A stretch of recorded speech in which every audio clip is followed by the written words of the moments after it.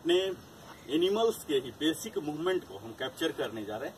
यानी कि खुद हम उसको इमिटेट करके अपने स्ट्रेंथ को, फ्लेक्सिबिलिटी को, स्टेबिलिटी को एंडोरेंस को बढ़ाने के लिए प्रयास करते हैं उनके जैसा ही मूवमेंट का। हमें पशुवत नहीं होना है मित्रों, क्योंकि ईश्वर ने हमें सृष्टि की सर्वश्रेष्ठ रचना के रूप में बनाया है, जिसे मस्तिष्क दिया है, सोचने और विचारने का तरीका दिया है। यही पशु से डिफरेंट हमें बनाता है। हम पशु के जैसा एक्सरसाइज कर रहे हैं, इसका मतलब बिल्कुल नहीं है कि हमें पशुवत व्यवहार करने लग जाना है। हमारे उन विचारों को इस्तेमाल करना है अपने जीवन को समृद्ध बनाने के लिए।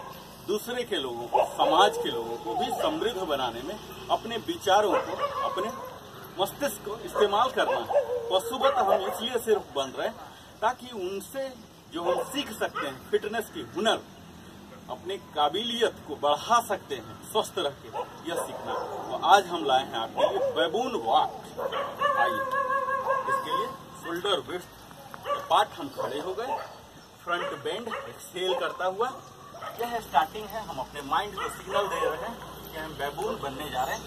यहाँ हम स्लोली हाथ यहाँ रख दीजिए।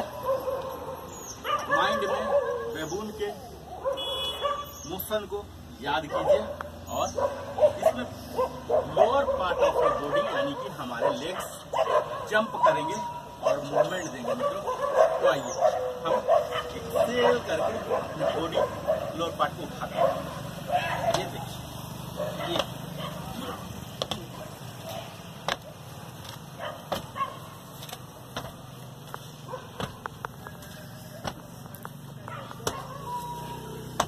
इस तरह से आप चलिए भरपूर आनंद उठाइए ये देखिए फास्ट आप रैंडम चल सकते हैं। ये इस तरह से? जितना पैर उठा सकते हैं। उठाइए। यह यह।